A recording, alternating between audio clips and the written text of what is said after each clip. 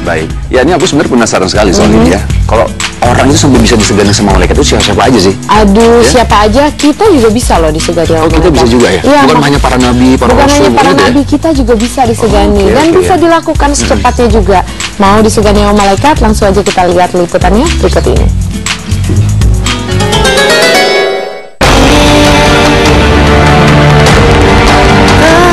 Orang-orang yang disegani malaikat.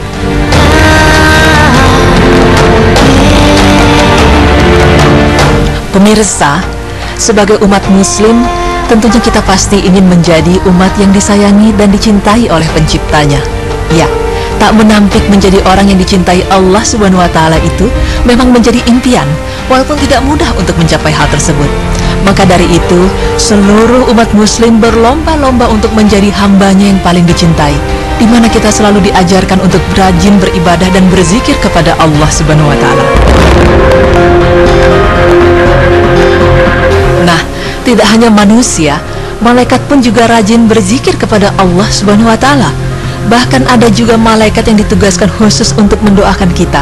Sebagaimana Rasulullah Shallallahu alaihi wasallam bersabda, Doa seorang muslim untuk saudaranya atau muslim lainnya yang tidak berada di hadapannya akan dikabulkan oleh Allah. Di atas kepala orang muslim yang berdoa tersebut terdapat seorang malaikat yang ditugasi menjaganya. Setiap kali orang muslim itu mendoakan kebaikan bagi saudaranya, niscaya malaikat yang menjaganya berkata, Amin, semoga Allah mengabulkan dan bagimu hal yang serupa. Hadis riwayat Muslim 2733. Namun, hanya orang-orang istimewa yang didoakan oleh para malaikat, serta hanya orang-orang tertentu yang disegani malaikat. Siapa sajakah orang-orang tersebut? Inilah penjelasannya.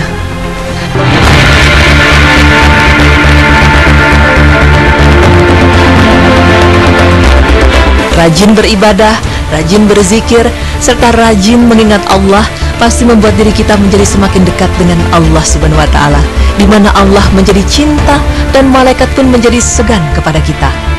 Menjadi orang yang beriman dan bertaubat sebenarnya bukanlah orang yang merugi. Kenapa? Karena jika kita sungguh-sungguh beriman kepada Allah, maka malaikat pun juga akan segan kepada kita.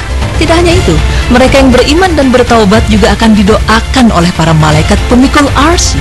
Sebagaimana firman Allah Subhanahu wa taala yang artinya, Malaikat-malaikat yang memikul arsi dan malaikat yang berada di sekelilingnya bertasbih memuji Tuhannya dan mereka beriman kepadanya serta memintakan ampun bagi orang-orang yang beriman seraya mengucapkan Ya Tuhan kami, rahmat dan ilmu engkau meliputi segala sesuatu maka berilah ampunan kepada orang-orang yang bertaubat dan mengikuti jalan engkau dan peliharalah mereka dari siksaan neraka yang menyala-nyala.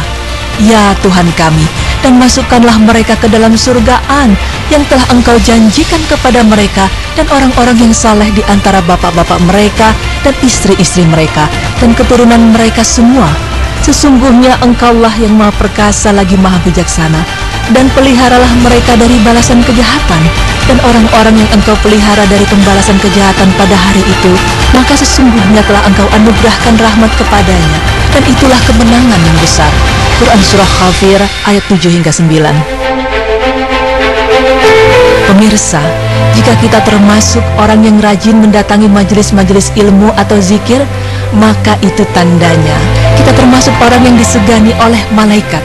Sebagaimana Rasulullah Shallallahu Alaihi Wasallam bersabda, Sesungguhnya Allah Tabaraka wa Ta'ala memiliki para malaikat khusus yang senantiasa berkeliling mencari di mana adanya majelis-majelis zikir. Apabila mereka menemukan sebuah majelis yang padanya terdapat zikir, maka mereka pun duduk bersama orang-orang itu dan meliputi mereka satu sama lain dengan sayap-sayapnya, sampai-sampai mereka memenuhi jarak antara orang-orang itu dengan langit terendah. Kemudian apabila orang-orang itu telah bubar, maka mereka pun naik menuju ke atas langit. Hadis riwayat Muslim 2689 khusus yang rajin berkeliling mencari tempat majelis-majelis zikir dan memeluk mereka dengan sayapnya. Karena itulah orang-orang yang hadir di sebuah majelis termasuk orang yang disegani oleh para malaikat. Orang yang disegani oleh para malaikat selanjutnya ialah orang yang mati syahid. Di mana ada sedikit kisah dari sahabat Rasulullah Shallallahu Alaihi Wasallam yang bernama Sodakoh bin Al Fadil. Beliau mengabarkan kepada Ibnu Uyainah bahwa jasad ayah dari Sodakoh yang telah tercabik-cabik dibawa ke hadapan Rasulullah. Lalu sesampainya di sana, Sodakoh ingin sekali melihat wajah ayahnya. Namun para sahabat melarang Sodakoh untuk menyingkap kain yang menutupi wajah ayahnya. Tidak lama kemudian, tiba-tiba terdengar suara teriakan perempuan yang ternyata itu adalah putri perempuan dari Sodakoh. Mendengar teriakan tersebut, Rasulullah Shallallahu Alaihi Wasallam bersabda, Janganlah kamu menangis, sungguh para malaikat senantiasa terus menaunginya dengan sayap-sayap mereka. Hadis riwayat Bukhari 2605. Bagi para umat manusia yang haus akan ilmu atau sedang menuntut ilmu, hendaknya kalian janganlah bersusah hati dan menyerah karena para ulama dan penuntut ilmu merupakan salah satu orang yang disegani malaikat.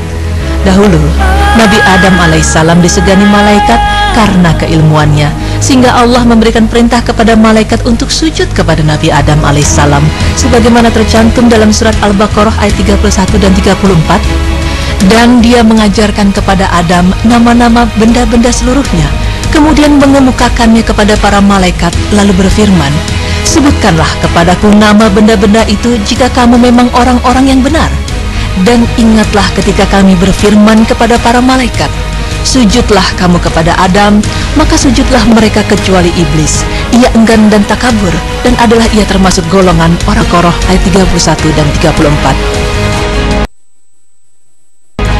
Pemirsa beriman, menjadi orang yang Allah cintai atau bahkan menjadi orang yang disegani oleh malaikat memang menjadi impian bagi seluruh umat muslim. Tak menampik ya, kita beribadah kepada Allah pasti ingin mendapatkan ridho dan cinta dari Allah untuk hambanya. Dan dari informasi ini, semoga kita menjadi pribadi yang lebih baik dan berwawasan luas, sehingga kita bisa menjadi hamba yang taat bertakwa kepada Allah Subhanahu wa Ta'ala. Amin ya Rabbal 'Alamin.